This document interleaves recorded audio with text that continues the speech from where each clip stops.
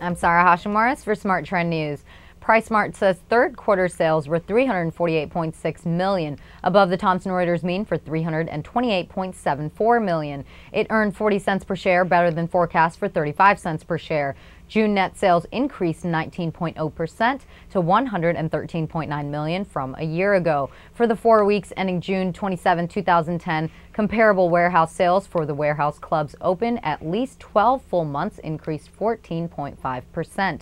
I'm Sarah Hashimoris for Smart Trend News. For more on the story, visit our website tradethetrend.com or subscribe to our YouTube channel Trade the Trend.